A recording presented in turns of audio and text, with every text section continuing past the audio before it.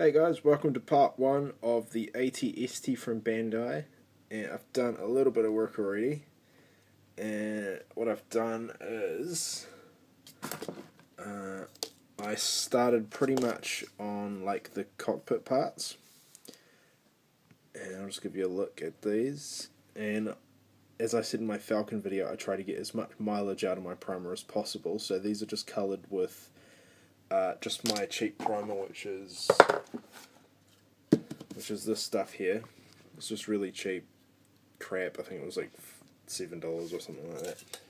Uh, I don't really believe in going for the expensive uh, hobby primer because it's, in my experience, it's just no no difference. So that's the back part of the cockpit there, and I actually put a wash on. It's a Citadel wash. Uh, where is it? There it is. So I washed all these parts. I didn't gloss them at all. Uh, where's the other one? Now I haven't done this side yet. I've just painted it. Uh, all I've done is you can see the um, you can see the main primer color of everything, and I've actually gone in and um, and painted like the green areas with uh, light sea grey, which is XF XF twenty five, and um, yeah, and and that's it. And here's one which I cooked earlier. Here's one from earlier, and um, yeah, this is the light sea grey, and I put a wash over the whole thing, uh, the Citadel wash. No gloss or anything, just put it on quite heavy handedly and wiped it off with a cotton swab and it looks uh, yeah it looks really good. I'm really really happy with it.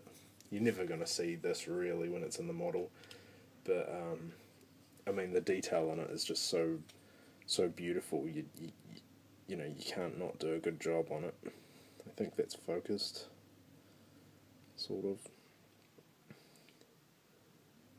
Yeah that's a better look really like amazing detail in there, and the wash really brings it out.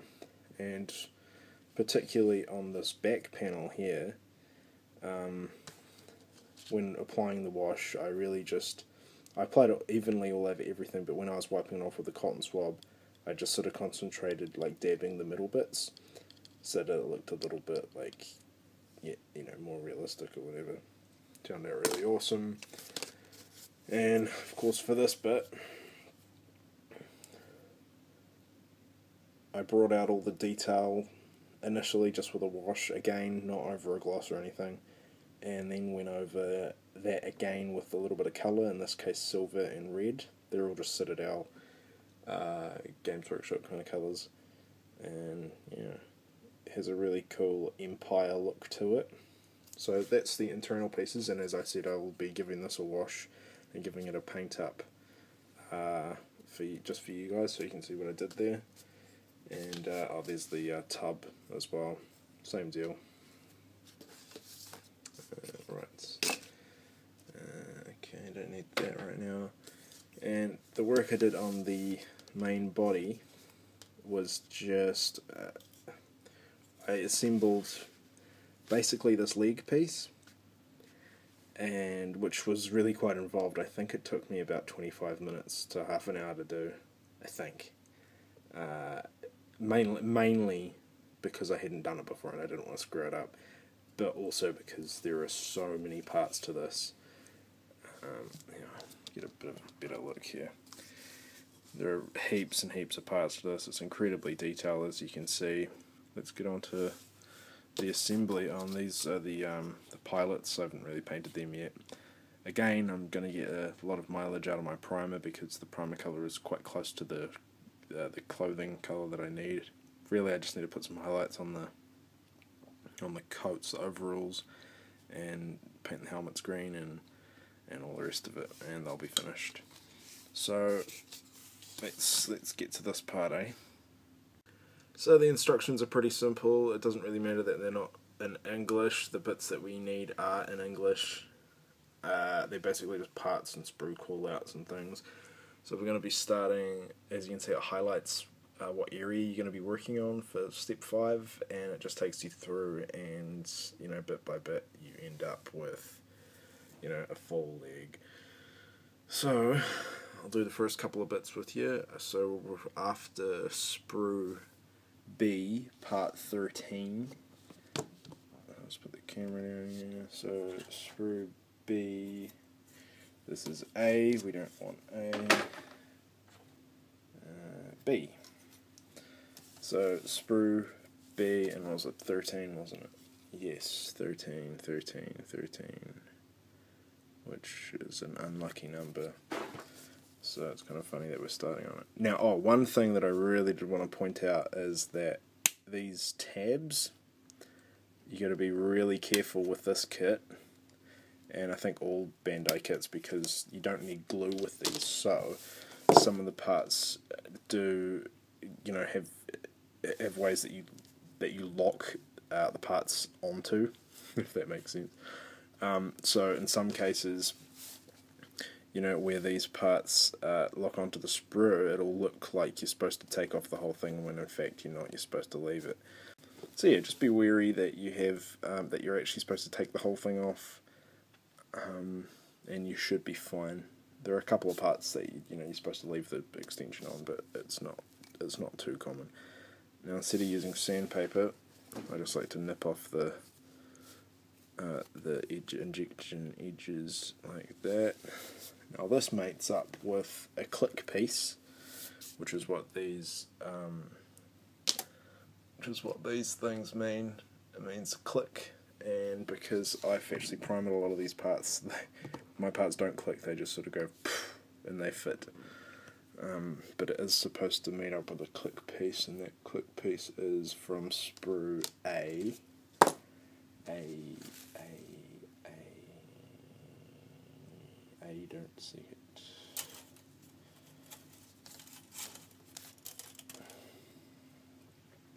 Uh, part 12. So, yep. So as you can see, I've only got one part 12 left because I did use it on the other leg, and I think, yes, this is a perfect example of what I was just talking about. Um, now, you want to leave that part on and cut here in the middle. So, like it kind of at a glance, it does look like you're supposed to cut it there, but you, you really want to leave, you really want to cut it there in the middle and leave that little knob at the end. So we'll do that. Uh, here's my knife. And yeah, you're just left with a wee thing at the end that you want to clean up.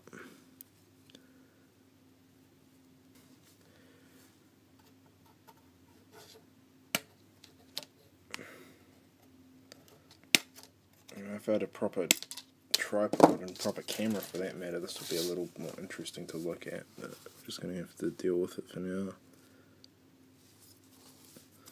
Well, I'm just going to have to deal with it for now. I'll just nip those edges off. And yeah, okay. So this little part keys in like this. Like that. And it just sort of goes in like that. And now we have just making sure I don't need to put anything else on because there are so many parts on this that I actually don't I don't remember exactly what was done the last time. So that'll just go in like that.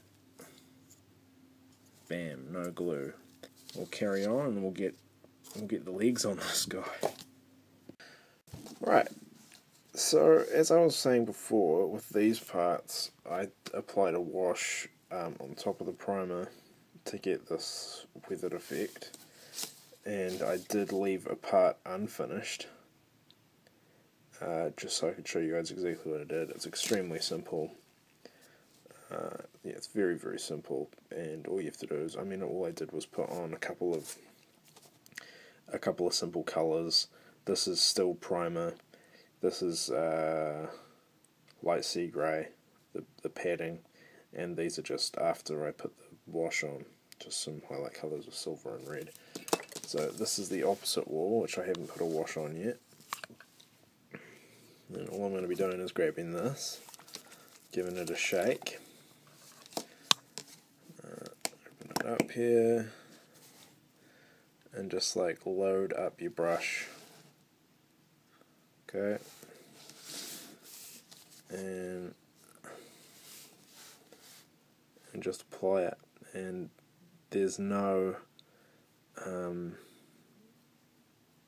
there's no gloss coat on this or anything so I like to be quite heavy with it because I want to leave as much of this crap on all the detail as possible and the reason I'm using a fine brush is just so I can get in here and get all these uh, green details here so there's tons of wash on there and just using just a cotton swab like this I'm just gonna start to take a bit of it out.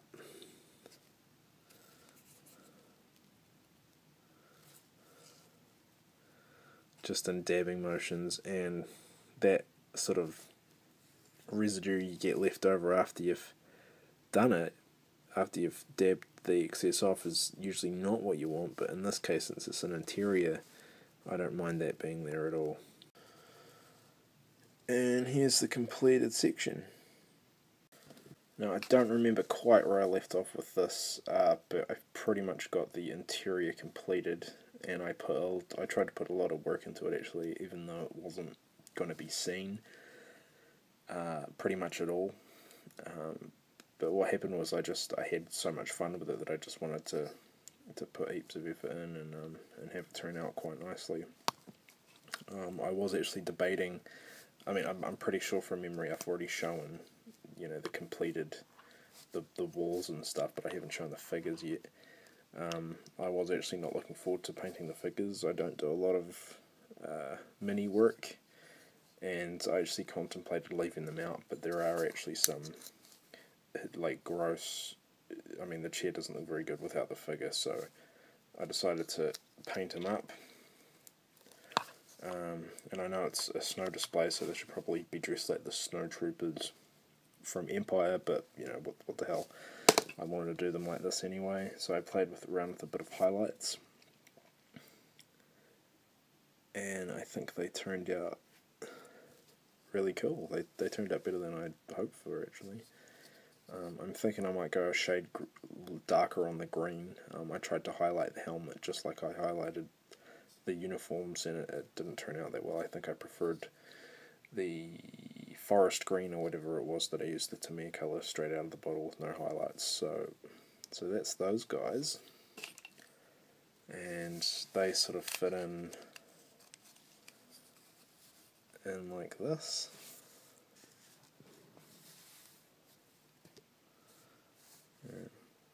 Yeah, I'm, I'm, I'm pretty happy with how the whole thing looks and of course um, I've actually I've put this together quite a lot actually because I just think it's the coolest little cockpit ever. It's so detailed and nice. Um, yeah, they'll sort of sit in there a little bit like that. And so that's those.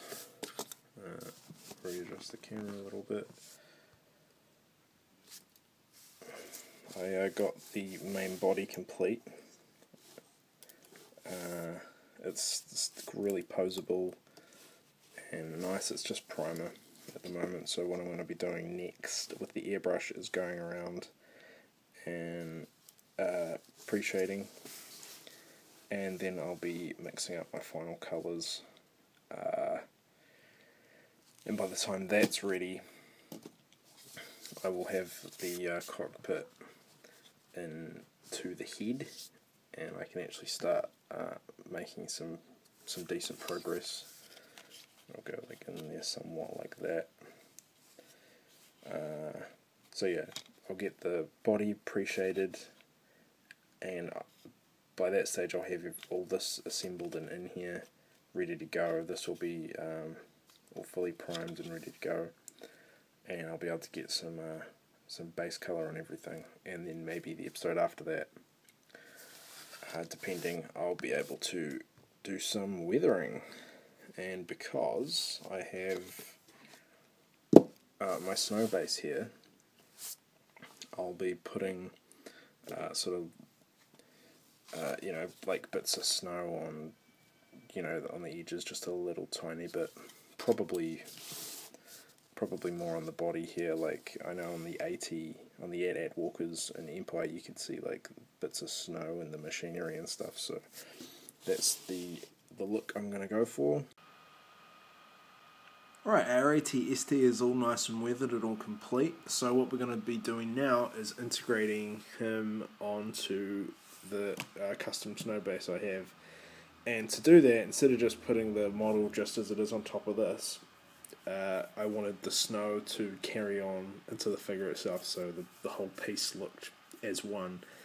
So what I've got here is I've got baking soda, some cheap acrylic paint, toothpicks, uh, a crappy paintbrush I use for stirring, epoxy glue usually, and a bottle. And what we'll be doing is we'll be making some uh, makeshift snow and then applying it a little bit directly to the uh, the model. So let's go. Right, so I've got it mixed up here. I don't really have any uh, specific ratio, but you just want it sort of uh, like a thick cake icing consistency. Basically, what you want is the kind of consistency where you can um, it'll stay on the your model and you can sort of shape it too. And I'm just using a toothpick here, so this is kind of this is kind of what we want. And when it dries, it'll dry hard, and uh, we'll be able to put a a varnish coat over it so it's, it's quite malleable so this should work quite well so let's get this white stuff onto the model here now all I'm doing is just getting a little bit on the end here and just that's a truck going by. Um, just putting a little bit onto the model like that and kind of flattening it down with my finger. And I'm just trying to remember that a little bit goes a long way. Obviously if this was real this probably whole thing would be just full of snow but I, I don't really want to go for that look. I just want to go for a real subtle restrained kind of look uh, so we got a little bit on the feet already a little bit on the claws and we're going to move up and just to select places on the rest of the model and add some just like this and obviously I have absolutely just what tons of this, but I couldn't really remember the ratio, so um, you don't quite need to to mix that much. But yeah, we'll uh, carry on, and the model will be finished. And here's the finished model. Thanks everybody for watching, and I hope to catch you on the next show. I'll include some videos, well, some pictures rather at the tail end of this so you can get a better look. So thank you very much for watching. See you next time.